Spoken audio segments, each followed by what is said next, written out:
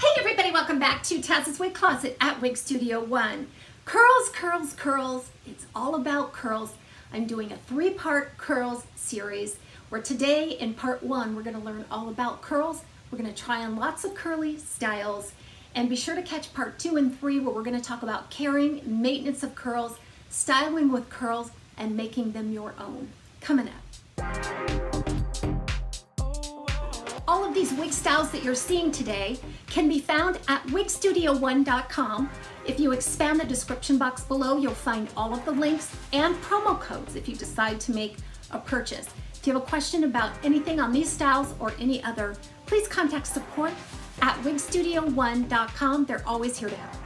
So we're gonna talk about and show you lots of different curly wigs today, like a big try on of curly wigs. Now, I'm not talking about waves a slight wave, or even a full wave.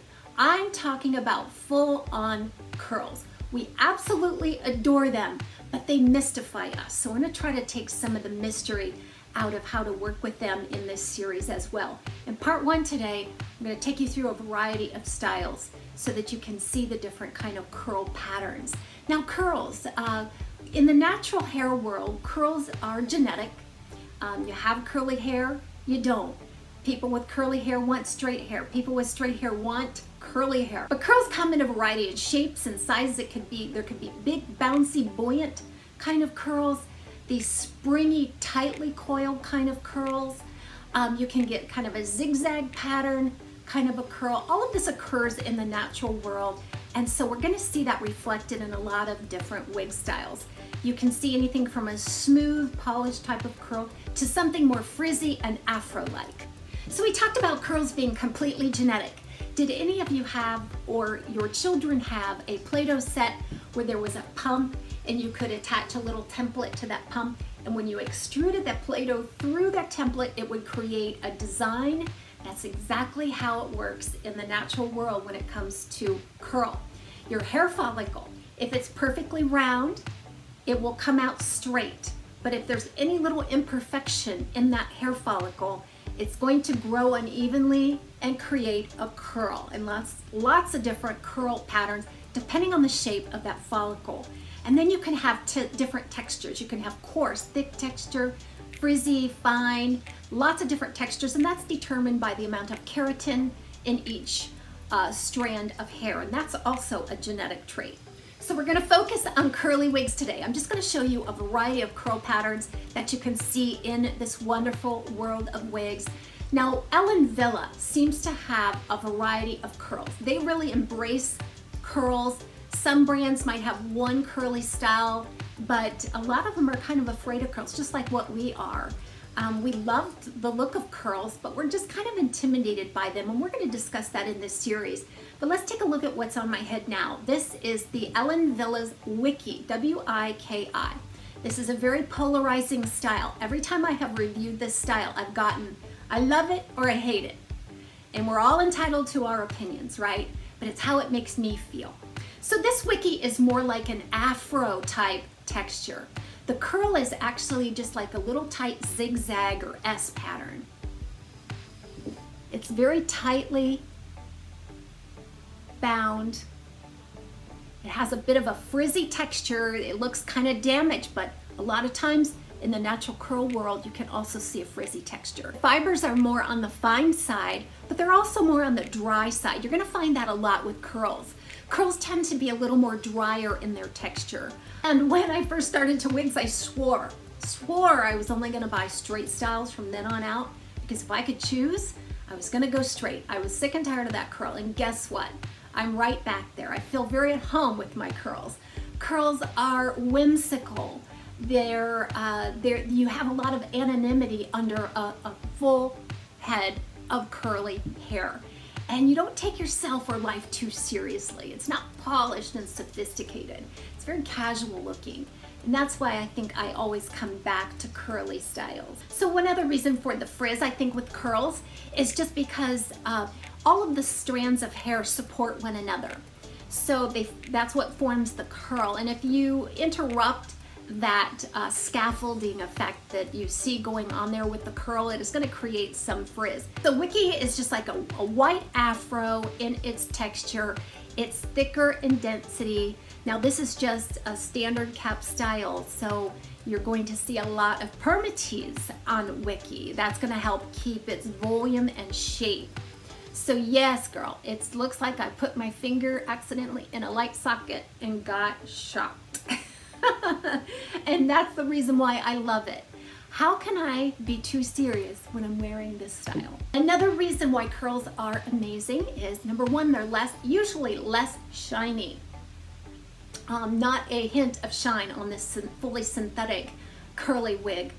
And it's, it's probably just because of there's less surface area. The light bounces off and reflects off of a curly hair a little differently than straight hair. Another benefit to curls is if you do see a little bit of wear and tear on the fibers, uh, curly wigs tend to last longer because it's disguised within the curl. The curl is already kind of uh, frizzy and textured. So when you start to see a little bit of wear, it isn't quite as obvious as it would be on a straight style. So here I'm wearing Wiki in the color Light Honey Rooted. So the curl pattern is very much like that original one. And I've had this one for a while. People can't help but to remark on the hair. And they typically don't say anything unless they really like it. But I do get some side glances. You know, I just feel like I wear it with pride. So this is the newest Wiki purchase that I made. This is in light Bernstein Rooted. Love, love, love the color combinations of, of some browns, some auburns, and some butterscotch blonde. But you can already tell that this texture is a lot different than the other two, can't you? It's more frizzy, but it doesn't have quite the kink uh, and definition in the curl. It just looks frizzy.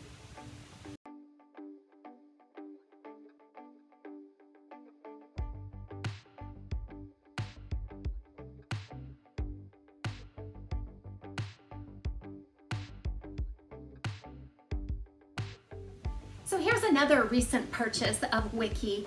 Again, more frizzy than curly there at the front. It's a little bit of a softer texture too, a more cloud-like, all the very fine fiber, but kind of frizzy. This is in the color Silver Blonde Rooted. It's a silver blonde with just some specks of some beige blonde in there on a medium brown root. This color reminds me exactly of the Silver Sun RT by Estetica.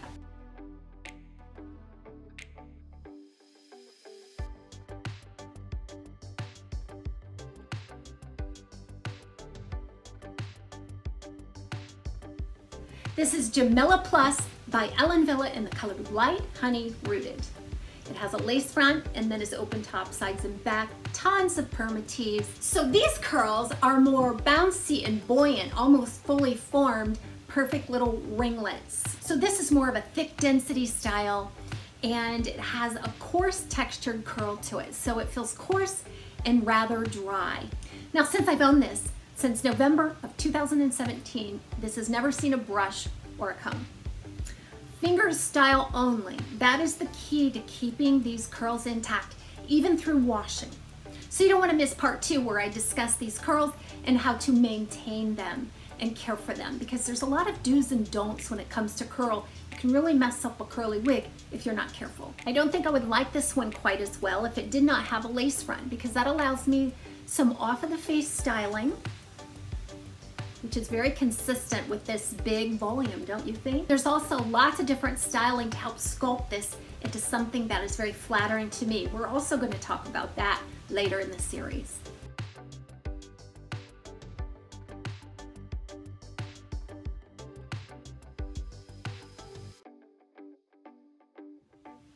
So here is another style by Ellen Wille. Did I tell you they have the best selection of curly styles of any brand? This is Storyville by Ellen Wille and the color Champagne Rooted. So Storyville has a lace front, is open top, sides and back, lots and lots of volume. But compared to the Jamila Plus, these curls are more in an S-shaped pattern. Um, it is not a fully formed ringlet, nor is it kinky and zigzaggy like the, uh, the Wiki So it's kind of like the wiki might have grown out and just the weight of the style kind of loosened the curl pattern a little bit. You're gonna see more of an S pattern throughout this curl. Lots of volume, lots of permatease. The fiber has a nice cloud-like texture to it. I'm just absolutely in love with this style. It has just that 70s kind of retro Tina Turner, Donna Summers, you know, it's just, it's big and beautiful and you gotta own it. I mean, you should have confidence when you walk out with a full head of curls like this because it's gonna get attention. Yep, you guessed it. Another Ellen Wille style to show you. Girl Mono in the color Champagne Rooted. This Champagne Rooted is uh, darker and much more gold in tone than the one that I just showed you on the Storyville. Um, now this curl pattern is a little bit unique. Most of you who purchase Girl Mono are not going to see this separated air dried look curl pattern. So most of the Girl Monos that I have seen recently just don't have a texture like this. Um, it's softer, it's a bigger curl, but you can still get a nice messy effect from it.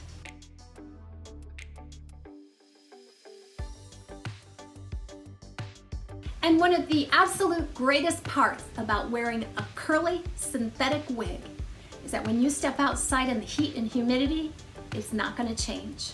If you have natural curly hair, uh, it tends to just frizz up, frizz out, and be out of control. Now human hair wigs will frizz out because they're made of human hair and they're subject to all of those uh, variations with weather changes. This is Kenya by Envy in the color lighter red. This is one of those curly styles they came out with a few years ago. And I can only imagine um, people will struggle with uh, figuring out how to make this work. I mean, you love this curl. The curl is little ringlets.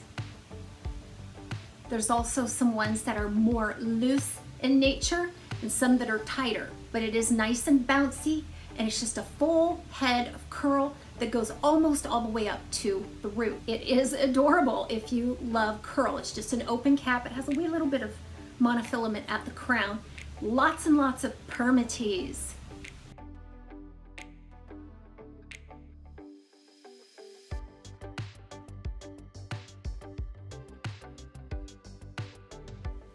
So now I'm back wearing Julie by Rene of Paris.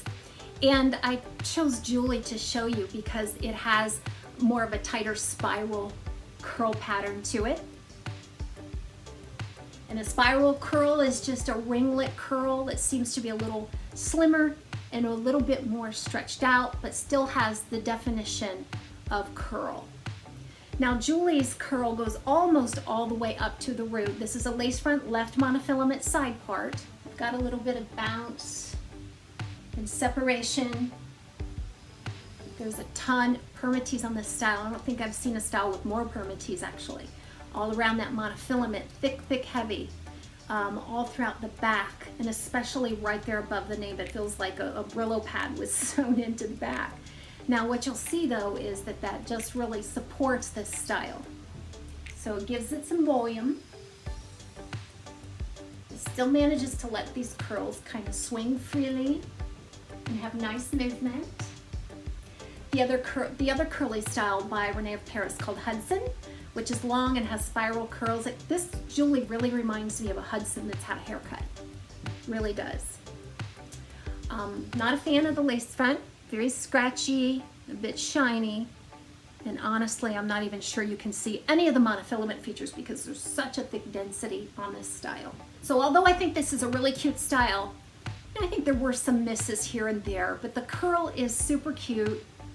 Okay, so this concludes part one of my Curls, Curls, Curls series where we discussed all the types of curls, why the curls are different.